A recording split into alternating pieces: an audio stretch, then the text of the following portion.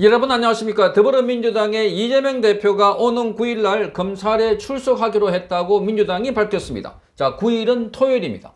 자 그동안 이재명은 어, 이, 이 4일날 출석해라고 했던 검찰 요구에 응하지 않았습니다 자 일정이 바쁘다 이렇게 해서 오전에만 출석하겠다고 하더니 자 그런데 오전에 출석할 수 받아들이지 어렵다. 검찰이 거부를 하자. 아, 그러면 출석하지 않겠다. 이렇게 말했습니다. 그래 놓고 그날 어, 이 행사를 했는데 오후에 단 20분 동안 20분 동안 뭐 화상회의에 참석해가지고 인사만 하고 나왔다는 겁니다. 자, 이게 이재명이 검찰 소환 조사를 받지 않으려고 하는 꼼수였다고 하는데, 그런데 검찰이 다시 자, 9일까지, 7일부터 9일까지 시간을 정해줬습니다. 이내 나와라. 그러니까, 자, 이재명 쪽에서는 그게 아니라, 아, 그 다음 주, 그 다음 주 11일부터 15일 사이에 나가겠다. 이렇게 말했습니다. 자, 그건 검찰은 안 된다. 다시 몫을 박았습니다. 9일까지 나와라. 이렇게 했습니다. 그런데 이재명 측에서 오늘 9일날 어, 출석하겠다 이렇게 밝혔습니다.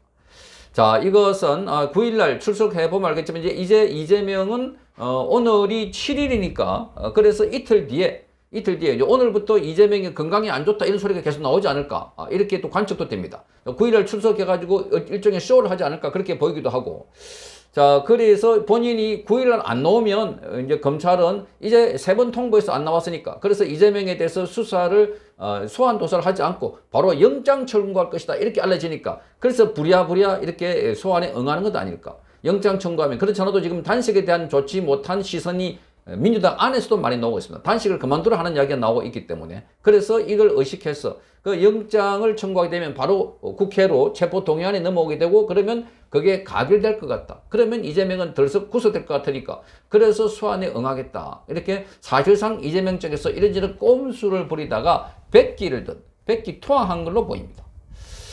자, 박성준 대변인은 오늘 국회 소통관에서 기자회견을 열고 이 같은 소식을 알렸습니다. 어, 박성준은 이렇게 말합니다. 이재명 대표는 대정부 질문이 끝난 직후인 9일날 검찰에 출석해서 윤석열 정권의 무도한 소환에 당당히 맞을 것이다 이렇게 밝혔습니다. 그런데 당당히 맞을 것 같으면 진작 뭐 8월 30일도 있었고 9월 4일도 있었는데 다 여러저렇게 이유를 대고 핑계대다가 아, 지금 단식한다고 쇼를 하면서 저 9일까지 그래서 갑자기 건강이 안 좋다라고 해서 9일 출석에 쇼를 하지 않을까 그렇게 관측도 되고 있습니다.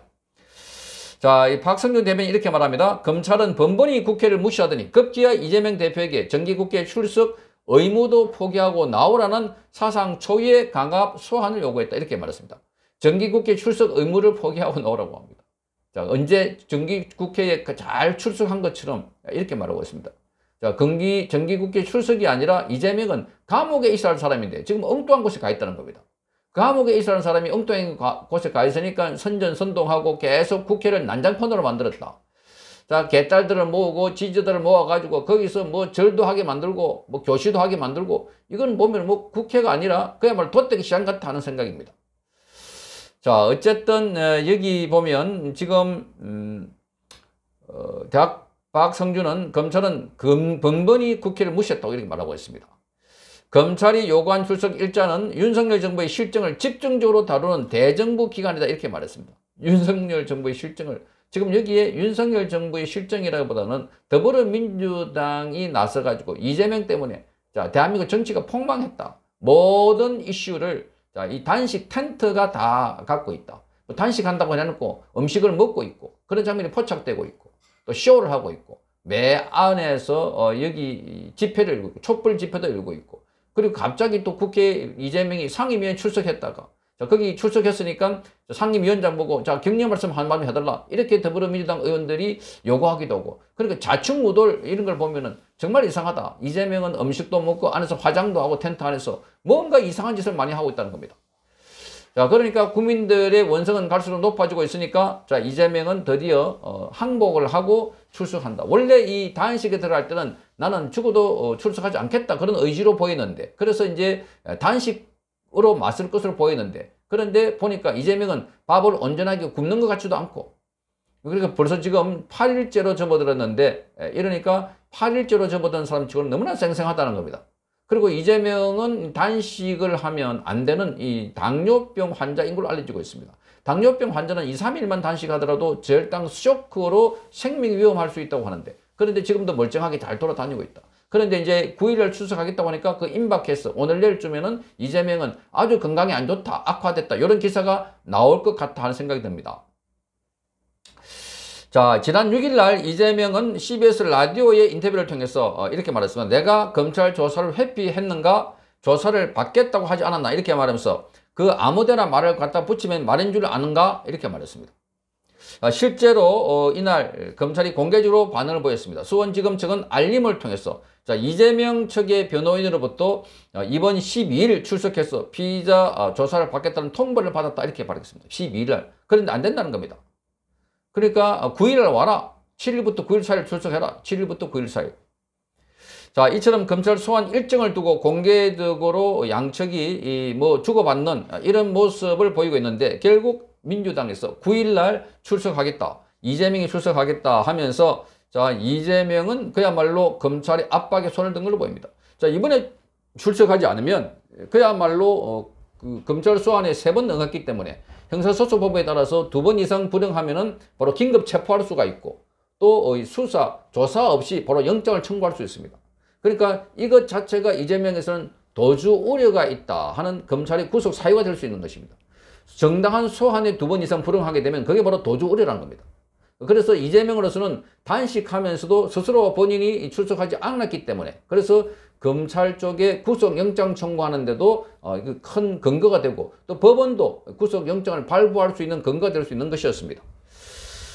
자, 그래서 이재명은 아, 지난 31일부터 단식 행동에 나섰다고 하는데 그런데 뭐 어제까지 국회에 본회의도 들어가고 상임위도 들어가고 그리고 앞에 지지자들 오면은 거기도 말하자면 지지자 앞에서 연설도 하고 어제는 촛불 집회를 하는 데서도 연설도 했습니다. 뭐 자기가 어, 말을 많이 못하니까 여러분들이 내가 어, 힘들면 여러분 힘을 더 내치라 이런 식으로 내가 어려우면 여러분들이 더 힘을 내주시면 나는 이길 수 있다 이렇게 하니까 뭐 이재명 이재명 환호하고 난리가 났습니다. 자 그런 가운데 수차례 보도를 해드렸지만 제대로 단식하는 것 같지 않다. 이재명이 사진을 보면은 이렇게 고기를 싹 돌려가지고 음식을 탁 집어넣는 물 입에 집어넣는 게 포착돼가지고 논란이 되었습니다. 집어넣고 앉는 것처럼 이렇게 턱을 써 공구고 있다가 사람이 안 보이면 쓱 돌아서고 또 어, 뭔가 종이컵에 무엇을 집어넣어가지고 이렇게 짜가지고 집어넣어갖고 구르르 마시고 있고 그리고 보온병을 마시고 있고 뭐 소금도 먹고 있고 온갖 것 다 먹고 있습니다. 또 어제 보니까 양이원령이 무슨 약이라고 주는데 그걸 한꺼번에 내알 먹으라니까 그걸 또 탁 입에 틀어 넣는 모습도 어, 보였습니다. 이게 왜냐하면 각 유튜브가 거기 뻗쳐놓고 방송을 하고 있습니다.